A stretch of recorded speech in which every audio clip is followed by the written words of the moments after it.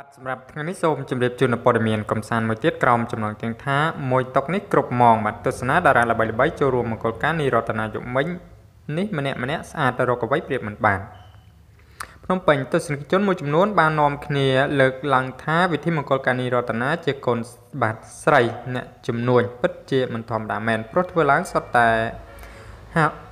នៅហាងបាទមានបរិវេណធំទូលាយចំណែកអាការតុបតែងវិញគឺសុទ្ធតែរបស់បាទ របបថ្មីថ្មីនិងតាន់សម័យបើគិតថ្លៃចំណាយគឺអស់មិនតិចនោះទេបាទតារាសំនៀង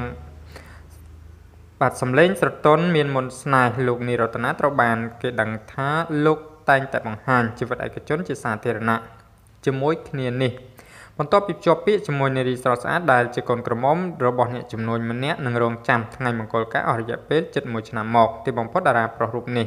បានដឹកដៃគូដណ្ដឹងចូលរោងមង្គលការនាថ្ងៃនេះ